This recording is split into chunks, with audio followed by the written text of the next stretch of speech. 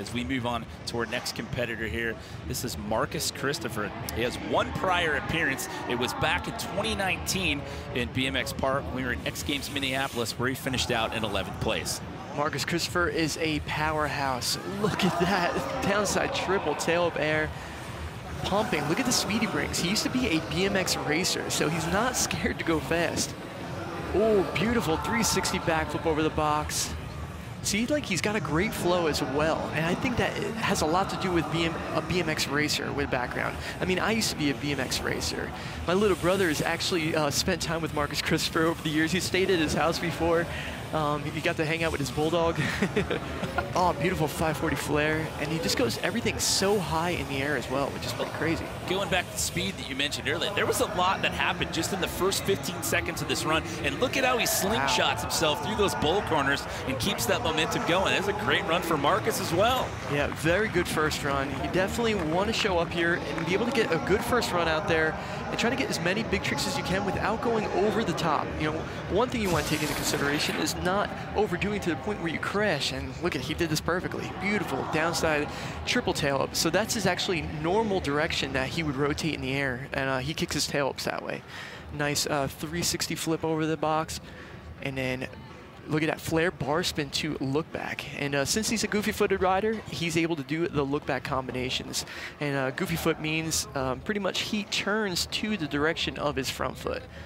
So there's the backflip tailwhip over the box as well. And I think this box is going to play a big role in uh, definitely deciding between the top guys today because I think it's going to be a lot of big tricks. So that brings us down to Logan Martin. He was your top qualifier until Daniel Sandoval said, uh-uh, I'm posting up at 87, so. And like I said earlier, he, he had two bobbles in his first run. So he, he has room for improvement. And he, he got an 86 in run number one. So far, he's actually changed up his line a little bit.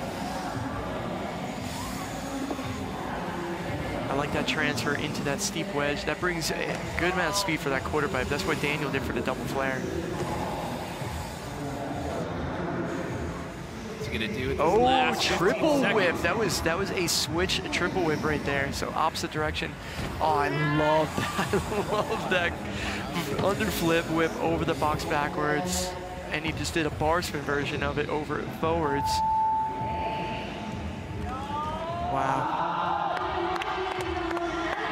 So there's, there a, there's a lot of tricks there. There was a lot of tricks there. I'm really curious to see what the judges do with this one.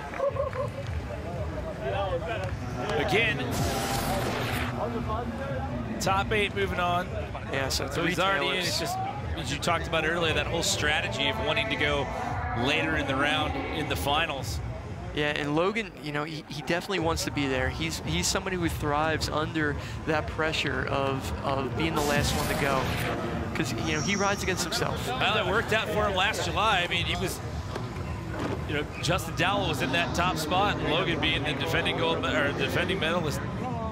Yeah, you definitely don't want to. Chiba in comes in and gets the ride last and gets the win. And I think that's why everybody cranked it up at the end because they saw that opportunity. They don't want Logan to ride last. So he gets an 86.33, so it is an improvement. Oh, I can't. That one's always best trick. Park best trick is always just so intense. It's yeah, it, it stresses me out uh, commentating. it really does. But Daniel Sandoval currently sits in that number three spot with an 80.66. So Oh, the double flair! now, somebody's not holding back. Maybe somebody's getting some extra practice since he already knows he's going into the final. I saw him hitting that wall and I stopped. I didn't want to finish my thought. I was like, what's he going to do? Oh, my goodness. And that's a big quarter pipe to do it off of.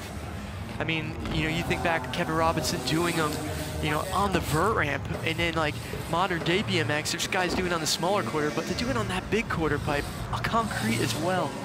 Look at that 540 flair. Wow. What a run right here. This has got some bangers. So many big tricks. Kind of using this as a uh, dry run, a little glimpse into what we can see in the final. Wow. And he is fired up at the end of that run. Nicely done. Two very solid outings out of Daniel Sandoval. Oh, I'm still recovering from that double flair. That thing was huge. we need a replay of that one. And pretty much at this point, with four riders left to go, there's only Oh, one of them that's not in the top eight. Look at this. Look how high he was. Come on. Look how far his body separates from the coping as well. You're like, oh my goodness, where's he gonna land? But it came around, it fit right in. Yeah. This is this is ridiculous. I can't believe he just threw that in qualifying when he was already qualified. But you know what? It takes a special kind of rider to take risk like that because he knows this is like a this is like a practice right here. You get a moment where you get the course all to yourself and to be able to bring your big tricks to it. So, scores in.